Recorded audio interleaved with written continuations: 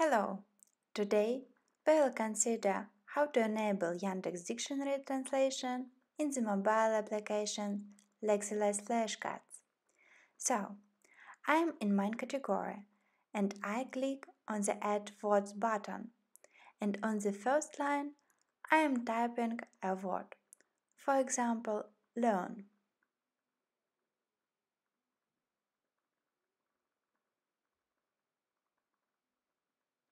Then I click on the Yandex button and the instruction dialog will be opened. All translations will be requested on your behalf and you need to get the API key from Yandex. An API key is a text string that Yandex will provide it for you free.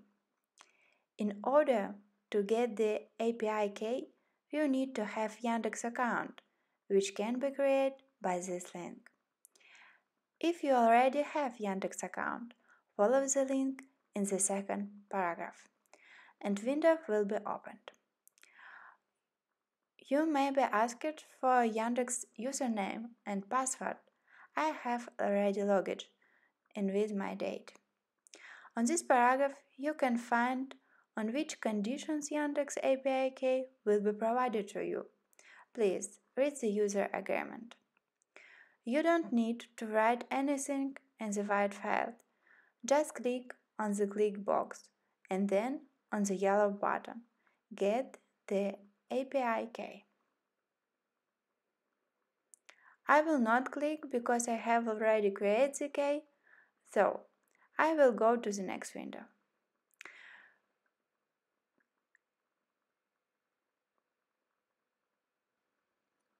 You will see exactly the same window, my case. The first tab is the translation. The second tab is the dictionary. Here two different keys, but you need the key from the second tab, dictionary.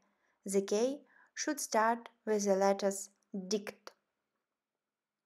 We select the key from the first symbol to the last, copy it into buffer and go to back to the Lexilize flashcards. Click on the Enter key button, pass key and click Check button. You should see a label work. Click OK.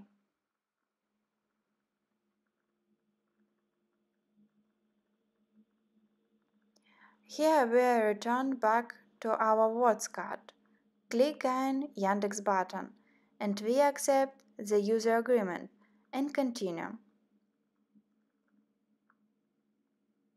And you see here we have several options for translating the word learn. We select several words translations and click OK. Here you see our word that we entered. In the second line are two translations. If you want, you can add a picture. We wish you all the best and make your words with Lexilize flashcards. Thank you.